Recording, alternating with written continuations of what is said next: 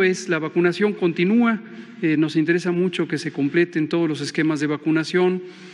Eh, tenemos 51% de cobertura en niñas y niños de 5 a 11 años. Esto ya nos sube además un punto porcentual a 83% la cobertura general en toda la población elegible para ser vacunada.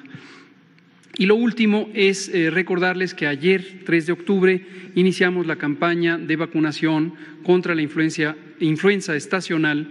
Eh, como todos los años, eh, vamos a estar aplicando 33.6 millones de dosis de vacunas. Esta vacuna se utiliza en población vulnerable a complicarse. Estos son los extremos de la vida.